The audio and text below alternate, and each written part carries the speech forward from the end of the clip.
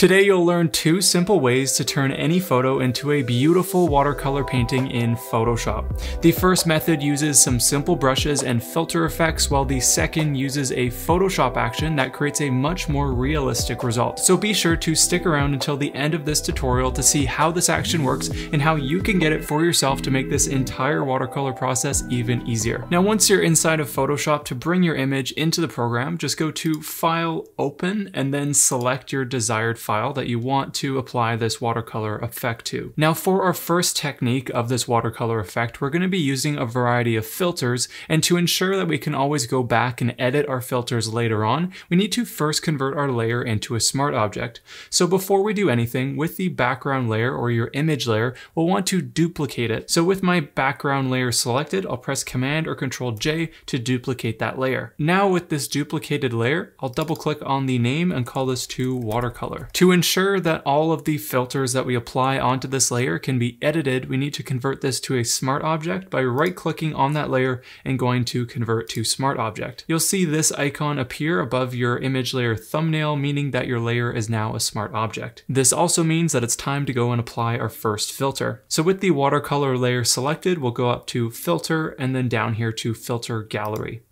Clicking on this will open up a new window where we have a bunch of different options here, but the one we're going to choose is the dry brush setting. Now what this setting does is basically gives your photo a more painterly look, and we have a few sliders that we can adjust to make this effect a little more customized. So with our setting here set to dry brush, we'll set the brush size up here to the maximum of 10. We'll go to our brush detail and set that to a maximum of 10 as well. So that way we can see a little bit more of the details in the background here. And finally for the texture, we'll leave this set to one so that we have sort of a smooth painterly effect that looks a little bit more like a watercolor painting.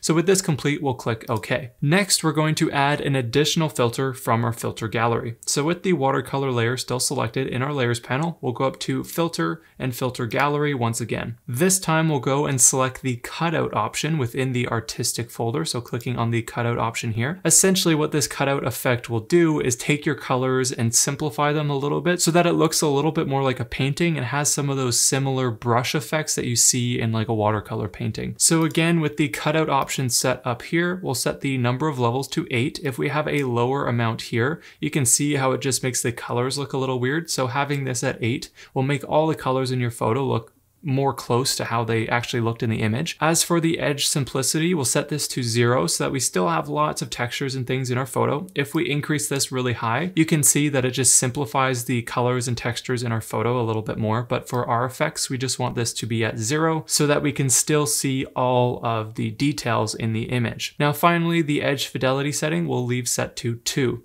Now we'll go and click OK to commit to those changes. So now we have two different filters applied onto our image. However, to make these blend together a little bit more, we're going to lower the opacity of the cutout filter that we just applied. So the cutout filter is the topmost filter gallery option here. So we'll go over and click on this icon right here. Double clicking on that of the topmost filter gallery option here. This will open up the blending options for our cutout adjustment. Here we have an opacity slider that we can click on and I'll bring this down to around 50 50% to just make that effect feel a little bit less intense. So we're still getting that painterly effect, but it's not ruining the details in our photo. So this looks good around here and I'll click OK.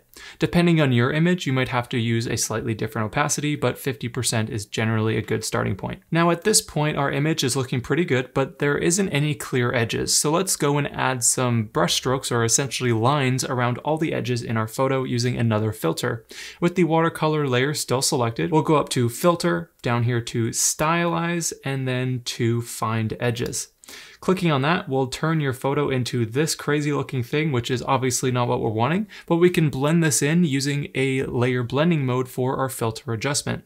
So with the find edges filter here below our smart filters, we'll go over to this icon directly across from the find edges words here. So double clicking on the topmost icon here, This will open up the settings for that adjustment as you see here, and I'll change the mode to multiply, which will remove all of the white from our adjustment and only leave the dark pixels left over, which is essentially how we get all these lines. If any of the lines feel a little too intense, you can go to the opacity slider and then drag this down to suit your taste, depending on how visible or not visible you want your lines to be.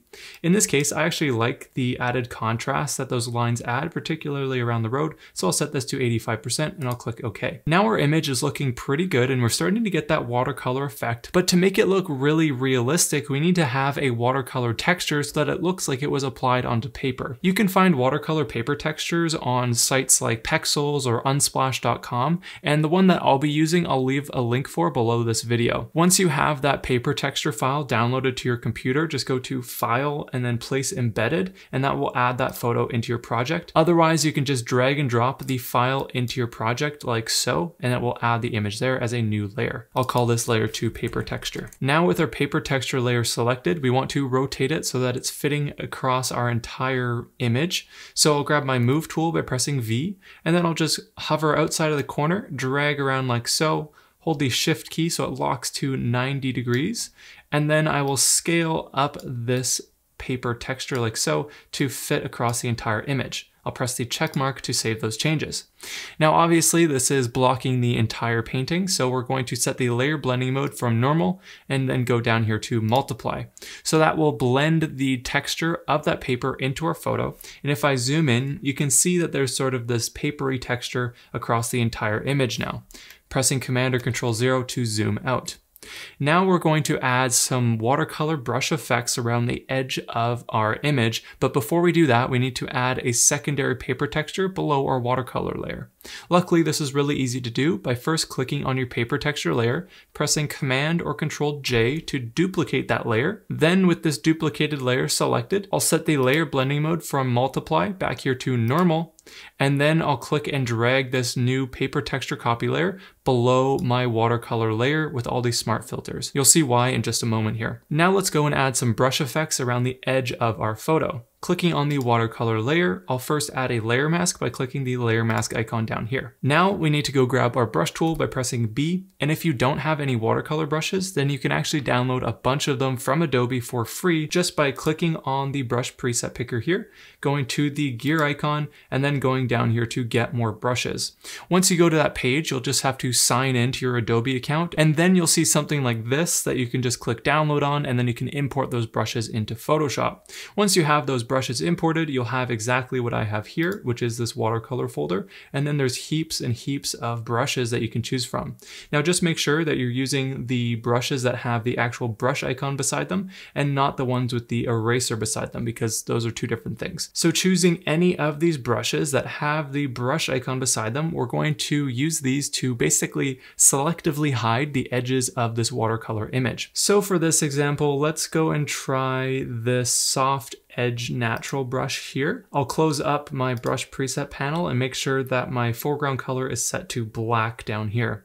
Now making sure that my layer mask is selected indicated by that white box around my layer mask. With black still set to my foreground color, I'll scale up my brush using my bracket keys and now I can just go and paint around the edges of my photo like so. If you click around your image, you'll often get a little bit more textures than clicking and dragging, but you can do a little bit of both to blend in these effects as you'd like. So I'm just going to continue to paint around here until I'm happy with the results that I'm getting from this particular brush. You might have to go back and forth with scaling your brush up and down using the bracket keys to just create a nice faded and textured look around your image like this. With these brush adjustments complete, let's go and try a different brush. I'll click on my brush preset picker and now I'll try the soft edge irregular brushes down here. This time we'll go and make some adjustments on the other side of my photo with my foreground color still set to black down here, my layer mask still selected on the watercolor layer. I'll scale up my brush by using my bracket keys, and then I'll just go and click and drag around this other part of my photo here to selectively remove some of the image and make it look like it's fading out with our watercolor adjustments.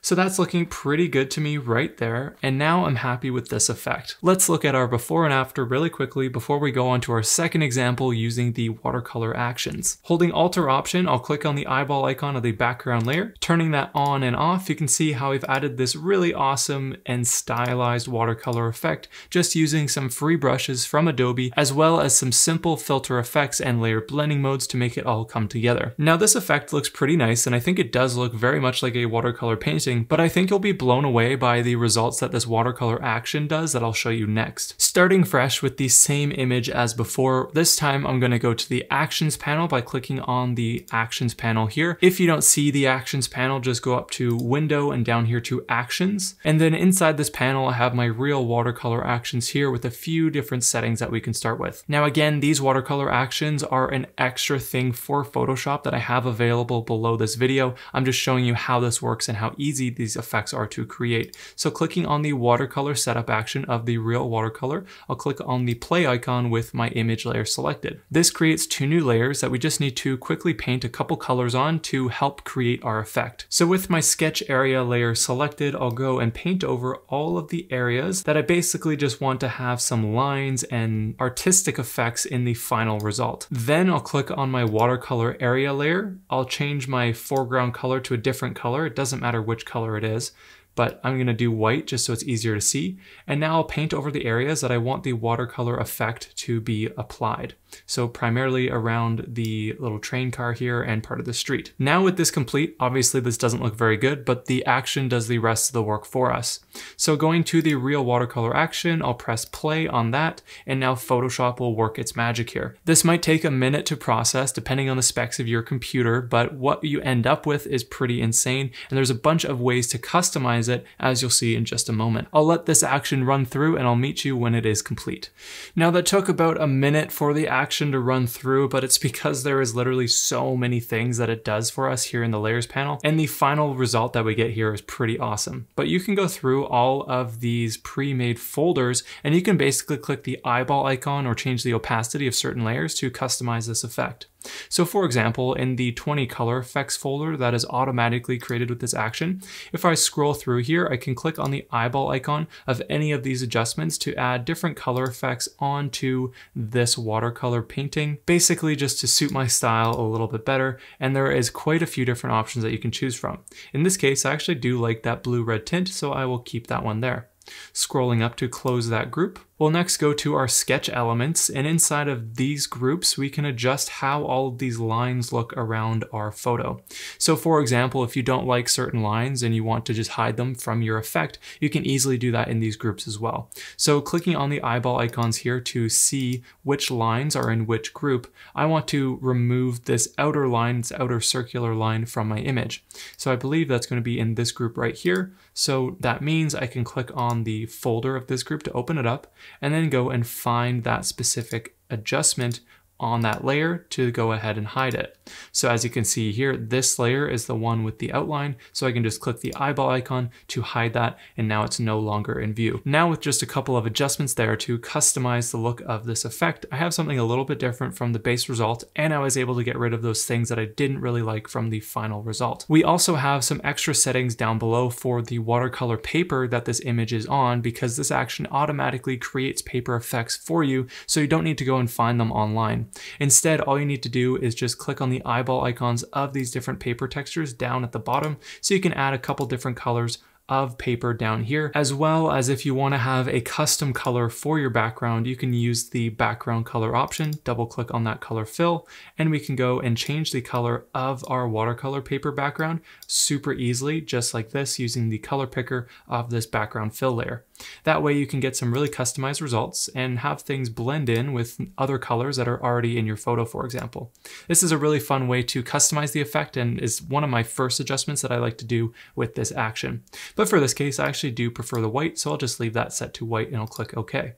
Now let's take a look at that before and after. Holding the Alt or Option key of my original image layer, holding Alt or Option to hide all the layers except for that one, you can see how easy that was to create an effect that is super realistic. It looks just like a watercolor painting and it has all those extra details that weren't easily created with the first method that we discussed. And all we really had to do was add two brush strokes and then press play on the action and everything was done for us. So this is definitely my preferred way of creating watercolor effects in Photoshop, but of course the first method that we talked about earlier definitely gets the job done too, and it doesn't require anything extra inside of Photoshop. Now if you want to get your hands on this watercolor action for Photoshop, I'll leave a link for it down below this video. In this watercolor action bundle, you'll also get 35 bonus watercolor brushes that are all optically captured, meaning they have some extra details and textures that some other watercolor brushes just don't have. There's also a variety of watercolor backgrounds for simple drag and drop effects or blank watercolor paper textures you can use in other projects too. Plus, there's a downloadable video lesson from my friend and creator of this action, Gavin Phillips, walking you through how to get the best results from these actions. So just click the link below this video to learn more about those actions if you're interested. But anyways, thanks for stopping by and I'll see you in the next one.